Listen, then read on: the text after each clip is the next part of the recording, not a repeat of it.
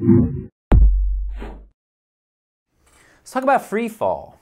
You know what free fall is. Here's a ball, I let it go, and it accelerated towards the ground, right? Well, essentially, free fall is an object moving only under the force of gravity. Now, in reality, that tennis ball, there was two forces. There was gravity pushing it down, and there was also fri friction or wind resistance pushing up. But when we calculate free fall, we're only going to use gravity. We're going to pretend that we were dropping that tennis ball in a vacuum or accelerating it in space where there's no resistance.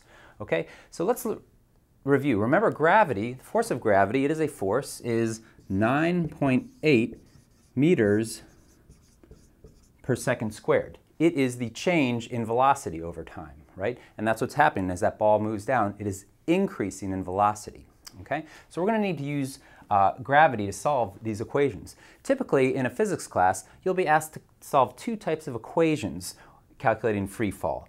The first one is the velocity of an object at a certain point in time after it's dropped from rest. The second is the distance that it's fallen after it's been dropped. So we'll calculate those two. The first formula you need to know to calculate the velocity of an object after it's fallen is it's going to be the force of gravity times time. Okay? Let's look at an example of a question you might get. Okay? Free falling object dropped from rest, so we're not accelerating it down, we're just dropping it from rest.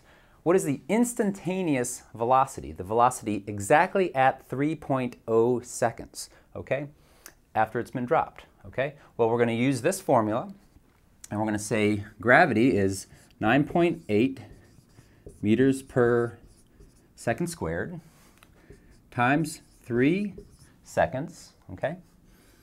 And my seconds, if I have a second in the numerator and a second squared in the denominator, I can simplify that and say that is going to be removed, and I'm going to just make this meters per second. And when I calculate that out, I'm going to get, my result is 29.4 meters per second. Remember to always carry those units and simplify so that you know that you have the proper units, okay? In this case, they're asking for an instantaneous velocity, and that 29.4 meters per second is your instantaneous velocity. Okay, well, let's look at the second problem. Okay, well, I want to know how far did that object fall in those three seconds? So I need to use another formula for that, which is 1 half the force of gravity, okay, times time squared. Because remember, we're talking about a change in velocity, so that change is going to keep increasing every second.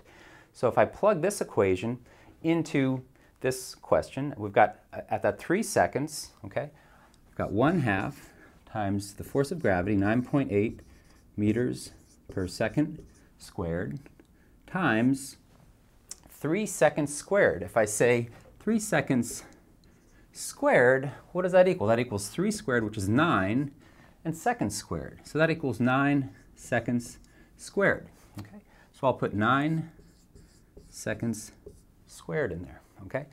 And again, units can trip you up and units kind of get confusing, but I've got seconds squared in the denominator and seconds squared in the numerator, so I can cancel that and cancel that, and I have 1 half times 9.8 times 9 seconds, and that equals 44.1 meters. And that's the distance that the object has fallen in that 3 seconds. At that three seconds, that is the velocity. And those are the two types of equations you need to know how to solve calculating free fall.